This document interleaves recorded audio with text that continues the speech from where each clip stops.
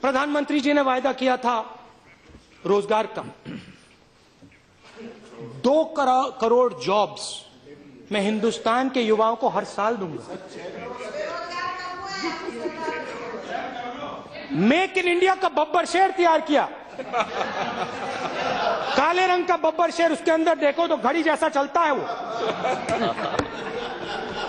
जहाँ देखो, इंटरनेट में देखो बब्बर शेर, टीवी में देखो बब्बर शेर। मोदी जी का भाषण सुनो, बब्बर शेर। स्टेज स्टेज जल जाता है, बब्बर शेर। और हम आपसे पूछ रहे हैं, बब्बर शेर दिखा दिया।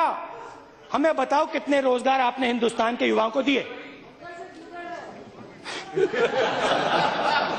कितने रोज़गार दिए? भाषण के लिए मैं आंकड़े ढूंढ रहा था। सिंधिया जी से मैंने पूछा कहीं आपको मालूम है हिंदुस्तान में कितने रोज़गार मिले एक साल में? किसी को नहीं मालूम। आंकड़ा किसी को नहीं मालूम।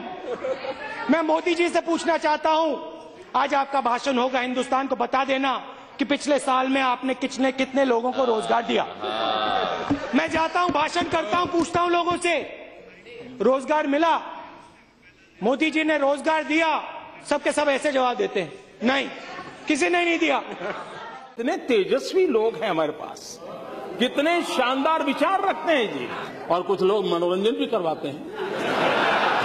कोई भी नई योजना लाए नई तरीके से लाए तो कुछ लोगों को उम्र तो बढ़ती है लेकिन समझ नहीं बढ़ती है तो समझने में बड़ी देर लग जाती है। इसको समझने में देर लगेगी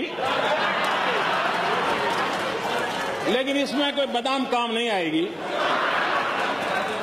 मेक इन इंडिया की मज़ाक उड़ा रहे हैं। ना ना मेक इन इंडिया की मिठाई उठा रहे